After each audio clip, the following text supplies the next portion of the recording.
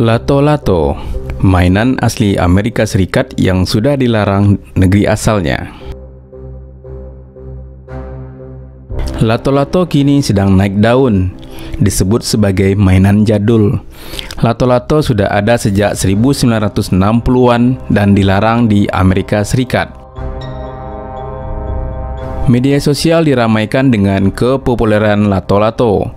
Boleh dibilang semua kalangan memainkannya. Angkatan boomers bernostalgia dengan permainan ini. Generasi berikutnya dan terkini juga tak mau kalah.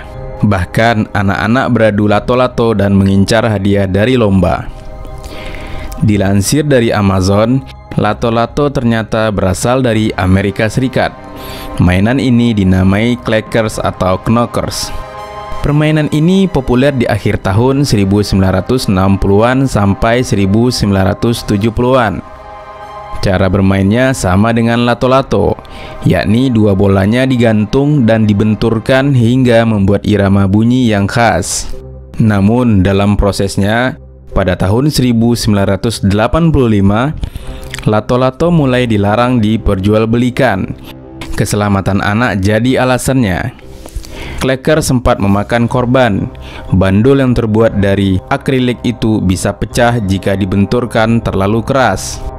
Saat itu banyak anak-anak Amerika Serikat yang terluka karena kena pecahan dari bandul clackers. Kalau traveler mau, traveler bisa cari kata kunci clackers di laman internet. Sejumlah pemberitaan soal kepopuleran mainan ini sudah tercatat di sana. Tak cuma Amerika Serikat, mainan ini juga populer di Kanada. Karena banyak anak-anak yang terluka, pemerintah Kanada juga melarang mainan ini.